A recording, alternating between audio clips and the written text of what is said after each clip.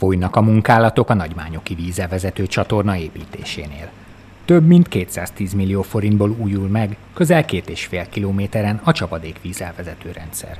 Az építkezés során a kotráson és a mélyítésen is dolgoznak a munkagépek. Kár Béla, nagymányok polgármestere elmondta, új betonozott tárkokat alakítanak ki hidakkal, a mélyebb szakaszokat pedig korlátokkal biztosítják.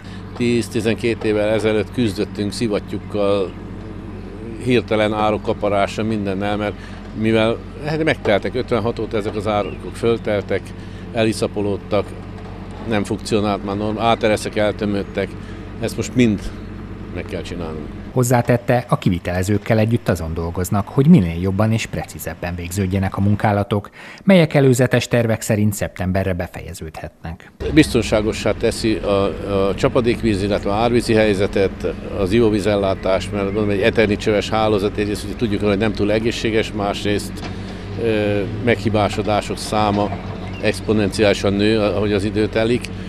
A járda az egy komfort, meg hát szép. A felújítási munkálatok miatt kialakult esetleges forgalmi rendváltozás és torlódás miatt a polgármester a lakók türelmét kéri.